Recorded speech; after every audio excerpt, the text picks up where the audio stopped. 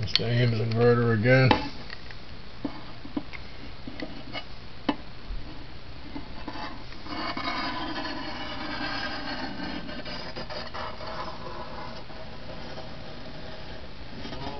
Benjamin, that's what doing there, bro? Doing another video? Not as hot as it was, but What's that noise? it's me dragging it. It's definitely smoking inside. The fans ain't moving. Put your head on it. Hear it? Let's try and do something. It's making noises. Yeah. It's frying.